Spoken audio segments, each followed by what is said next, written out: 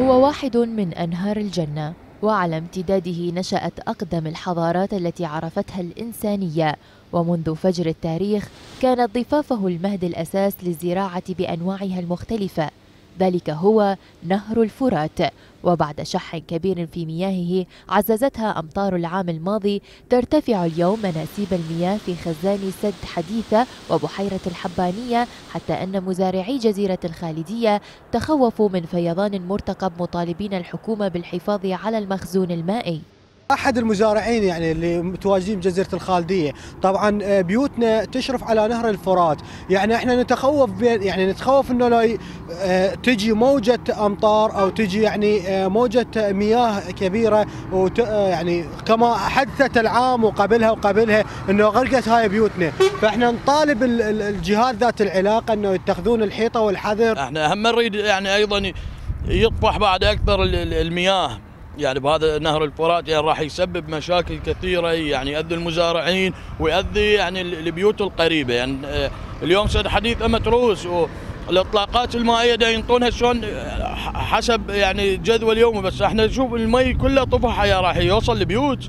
مدير سدود الأنبار المهندس ماجد إبراهيم قال أن سد حديثة جاهز لاستقبال مياه الفرات وتم اتخاذ جميع الاحتياطات مشيرا إلى أن المناسيب الحالية طبيعية.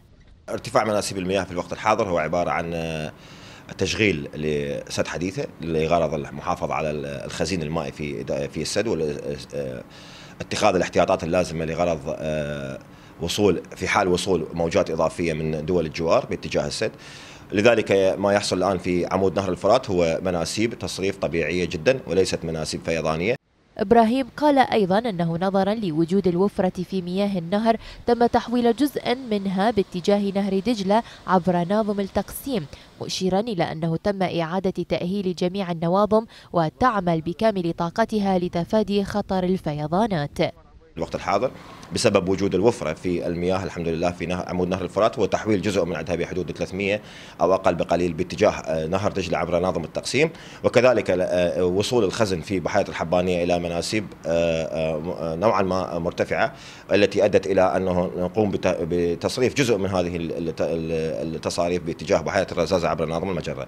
بالتأكيد النواظم مالتنا والحمد لله في الأشهر القليلة الماضية تم إعادة تأهيلها بالكامل وحاليا تعمل بكامل طاقتها سواء كان ناظم سدة الرمادي أو ناظم آه، الورار.